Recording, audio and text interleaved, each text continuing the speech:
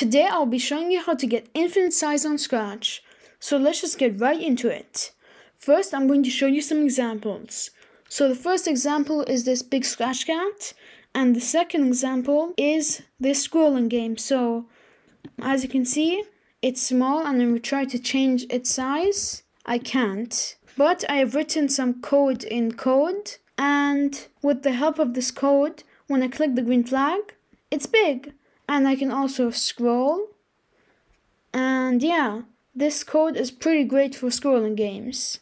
So let's just get right into making it. So I'm going to go back to my scratch cat sprite. And I'm going to switch my size to 1000 but it won't let me and it will only let me set my size to 540 the reason that is, is because there's a limit to each sprite. So the limit is based on how big your costume is. So if I make a new one, I'm going to call this one blank.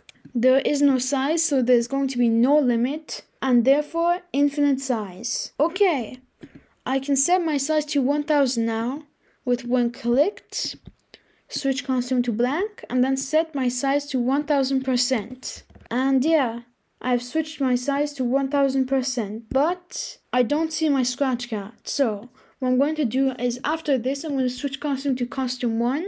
And now I have a gigantic scratch cat.